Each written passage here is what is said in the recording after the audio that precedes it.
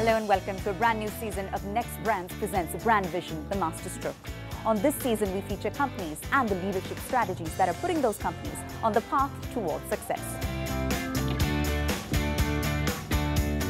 On this episode, we showcase four ingenious innovators.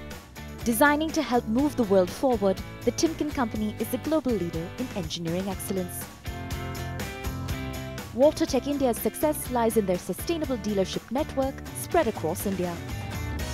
Head Digital Works have been pioneers in Indian mobile gaming and the entertainment space since 2007. MF Utilities, a path-breaking firm that is bringing together competitors as collaborators.